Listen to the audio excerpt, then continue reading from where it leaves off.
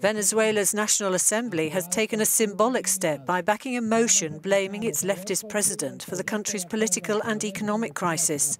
The motion was unanimously approved mainly because all pro-government MPs had refused to take part. Earlier, opposition lawmaker Gilberto Sojo was given a rapturous welcome. He's one of four opponents of President Nicolas Maduro to have been released from jail. Activists say there are more than 100 unjustly imprisoned. Meanwhile, Maduro's announcement on Monday that he would be closing the country's border with Colombia to combat smuggling gangs has caused chaos. Maduro blamed mafia activities, which are causing huge damage to the country.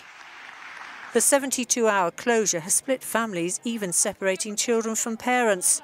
Many are struggling in an economy which has soaring inflation, and to survive they've been selling subsidised fuel in Colombia.